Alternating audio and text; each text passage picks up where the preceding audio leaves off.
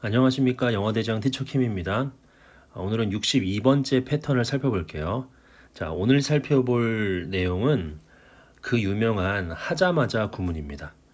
그래서 영어에서 뭐뭐 하자마자 구문이 있는데 자 예를 갖다가 우리가 기본적으로 에주슨 에주로 표현하죠.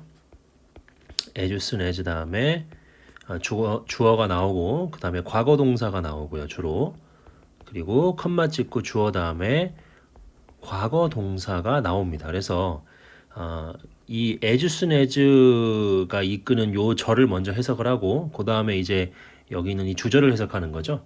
그래서 이 주어가 요 동사를 하자마자 이 주어가 이렇게 동사를 했다는 거잖아요. 어, 그런데 얘를 갖다가 과거 완료를 사용을 해서 어, 표현할 수가 있습니다. 어, 그래서 어떻게 표현하냐면 이 as 쓴 as가요. 어, 이 뒤로 가면서 이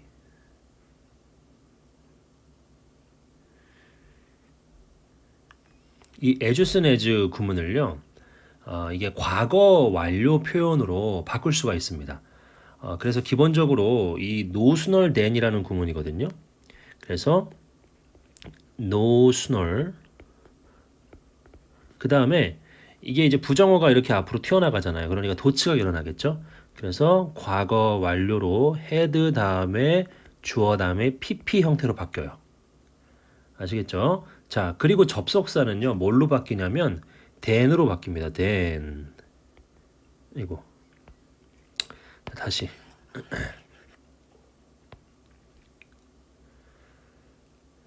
안녕하십니까 영어대장 티처 킴입니다. 아, 오늘은 62번째 패턴으로 그 유명한 뭐뭐 하자마자 구문을 좀 살펴보려 그래요. 자, 뭐뭐 하자마자 구문인데 우리가 앞서서 뭐뭐 하자마자는 뭐로 배웠어요? 에주슨 에즈죠. 예, 에주슨 as 다음에 주어 다음에 주로 과거 동사가 나오고 그리고 주어 다음에 이렇게 과거 동사가 나올 때 자, 요 내용을요. 요 내용을 이제 과거 완료가 들어가는 표현으로 바꿀 때 어떻게 바꿀 수 있냐면 그러니까 같은 표현인데 이제 노스널 then이라는 구문을 여러분들이 들어보셨습니까? 예, no sooner를 앞에 써주고 그리고 얘가 이렇게 지금 부정어가 앞으로 튀어나가기 때문에 어, 도치가 일어나야 되죠. 그래서 과거 완료 시제를 과거 완료로 바꿔줘야 됩니다. 그래서 had를 써주고 had pp니까 도치가 일어나니까 주어 써주고 pp를 이렇게 써주겠죠. 그쵸? 예, 그래서 위에서 보시다시피 이 주어 다음에 과거 동사가 이렇게 had 주어 pp로 바뀐 겁니다. 자, 그 다음에 이제 접속사가 than으로 이렇게 바뀌어요. 노스널 then. 그쵸? than으로 바뀌고 뒤에는 똑같이 주어를 써주고 과거 동사를 써줍니다. no sooner as soon as 구문이 완전히 같아요. 자, 그리고 또 뭐랑 같냐면 여기에다가 hardly나 hardly나 scarcely 그죠? 요거를 써주고 똑같이 뒤에도 뒤에도 head를 써주고 얘도 부정어거든요. hardly랑 scarcely도 부정어니까 도치가 일어나는 거죠. 또 주어 다음에 과거 분사가 오는 겁니다. 그쵸? 예, 그래서 얘도 똑같은 거예요. 이 계속 이 노란색으로 칠한 것들 동일하게 보시면 됩니다. 그리고 접속사가 오는데 then이 아니라 뭘로 오냐면 when이라던가 어, before이 이렇게 옵니다. 그리고 뒤에는 똑같이 주어 다음에 과거 동사가 이렇게 쓰입니다. 어, 그런데 이 hardly, scarcely, had 주어 pp 다음에 when을 쓸 거냐, before를 쓸 거냐에 대해서 이 시중에 있는 문법 책마다 조금 설명이 다릅니다. 어떤 책은 hardly가 올 경우에는 무조건 when만 써야 되고 scarcely가 올 때는 무조건 before를 써야 된다. 이렇게 가르치는 책들도 있지만 어, 그런데 hardly가 올 때 before를 쓰는 경우도 어, 제가 본 적이 있어요. 예, 그렇기 때문에 어, hardly, scarcely 어떤 것이 오든지 간에 when, before는 둘 다 올 수 있는 겁니다. 아시겠죠? 자, 이 모든 게 다 뭐뭐 하자마자 구문이에요. 자, 그런데 이게 뭐뭐 하자마자 구문인데 지금은 도치가 된 형태잖아요. 도치를 안 시키고 원래 형태로도 쓸 수 있겠죠? 원래 형태로 쓰게 되면 어떻게 됩니까? 여기다 밑에다가 한번 적어볼게요. 주어가 먼저 오겠죠. 그쵸? 그 다음에 헤드 PP 사이에 헤드 PP 사이에 노스널이 온다거나 예, 이건 좀 지울게요. 제가 오타가 나갔고 헤드 PP 다음에 노스널이 온다거나 또는 hardly가 그쵸? hardly가 온다거나 scarcely가 온다거나 한 다음에 PP가 오겠죠? 그쵸? PP가 오고 그리고 나서 no sooner일 경우에는 than이 오겠고요. 그죠? than. 그리고 hardly나 scarcely 같은 경우에는 when이라던가 그쵸? before이 오겠죠? 예, before이 오고 그 다음에 뒤에 주어 다음에 뭐가 와요? 예, 조금 안 보이는데 여기다 쓸게요. 뭐가 와요? 주어 다음에 과거 동사가 오겠죠. 예, 이 빨간색으로 제가 쓴 거는 도치가 되지 되기 이전의 형태죠. 원래 형태, 정치의 형태입니다. 예. 아무튼 이 no sooner hardly scarcely가 앞으로 튀어나가게 되면 도치가 일어난다는 거 알아두시면 좋겠습니다. 그리고 hardly scarcely 다음에는 접속사가 when이나 before 둘 다 올 수 있다는 것도 기억을 해주시면 좋을 것 같습니다. 자, 그럼 1번 한번 볼게요. 자, as soon as I left the house예요. 내가 집을 떠나자마자죠. 그러자마자 어떻게 됐어요? It began to rain. 비가 내리기 시작했어요. 자, 요거 한번 좀 바꿔볼게요. 노스널로만 바꿔보면 어떻게 돼요? no snow. 그쵸? 예, 써주고. 그 다음에 어떻게 돼요? had I. 그쵸? had I left죠? 예, had I left the house. 그쵸? 그 다음에 접속사 뭘 써야 돼요? 노스너는 then이죠. then 하고서 뒤에는 똑같습니다. hardly scarcely도 똑같겠죠? hardly scarcely가 앞에 오면 뒤에 then 대신에 when before 써주고 it began to rain 이렇게만 쓰면 되는 거예요. 자, 2번 보시면은 2번은 노스너가 이거는 앞으로 튀어나가지 않았죠? 예, 그래도 뭐뭐 하자마자라고 해석을 하시면 됩니다. 자, 나는 집을 떠나자마자 그쵸 어떻게 됐어요? 예, 비가 비가 내리기 시작했죠. 이건 도치가 안 된 안된 형태죠. 그런데 이 위에 제가 어, 이렇게 보여드린 거는 도치를 시켜본 형태입니다. 자, 3번도요. 하들리가 이렇게 들어가 있는 거죠. 도치가 안 된 형태죠. 예, 그래서 hardly scarcely when before 이렇게 쓴 겁니다. 예, 1번, 2번, 3번은 지금 똑같은 형태죠. 예. 다만 2번과 3번은 도치를 시키지 않았다는 거 그것만 알아두시면 되겠습니다. 자, 4번 갈게요. 내가 말하자마자죠. 내가 말하자마자 나는 어, 생각했죠. 느꼈죠. 뭐를요? 내가 had committed a blunder. blunder 하게 되면 이건 실수예요. 큰 실수를 말합니다. 아, 내가 실수를 저질렀구나. 라고 그렇게 생각을 했다는 거죠. 이것도 뭐 hardly scarcely 이걸 바꾸면 어떻게 돼요? hardly scarcely had I spoken. 그쵸? 그 다음에 when이나 before 써주고 I felt I had committed a blunder 쓰면 되겠죠. 자, 그 다음에 5번도요. 이건 도치를 안 한 형태죠. 예, he had hardly got to the station. 내가 어, 그 스테이션에 도착하자마자 열차가 출발했죠. 그쵸? 예. 자, 그 다음에 이 말들이 were 노순을, 노순을 여기 나왔네요. 그죠? were out of his mouth. 그의 입을 떠나자마자죠. 예.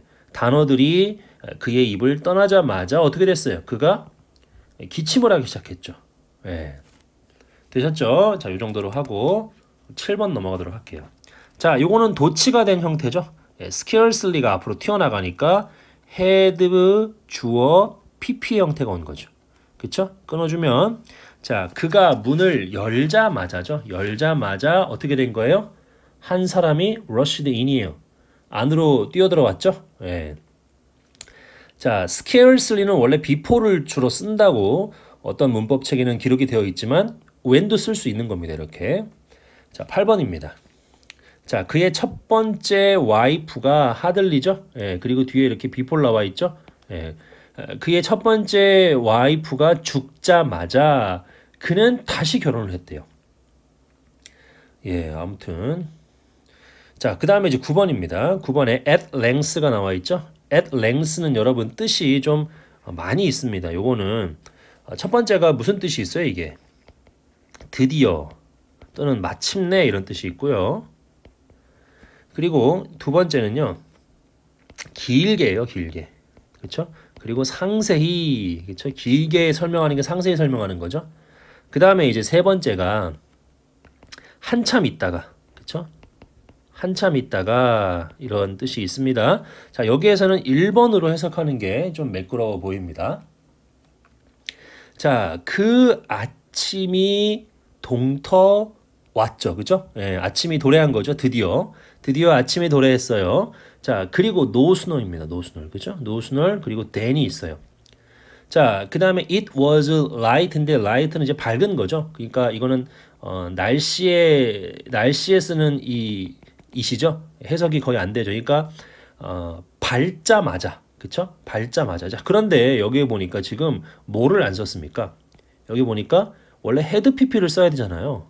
근데 had PP를 안 쓰고 이렇게 과거를 쓸 때도 있습니다. 예, 이렇게 쓰면 쓰는 거예요. 하지만 어, 그냥 해석은 똑같아요. 뭐뭐 하자마자예요. 자, 이제 아침에 오니까 아침에 와서 그래서 지금 어, 막 날이 밝은 거죠. 날이 밝자마자 어떻게 했어요? 비가 내리기 시작한 거죠. 억수로 비가 내리기 시작한 거예요. 자, 그 다음 10번입니다. 자, 태양이 그쵸? came up 나타나자마자 나는 뭐 했어요? 나는 got out of bed죠. 침대에서 나와서 어디로 갔습니까? 창문으로 갔습니다.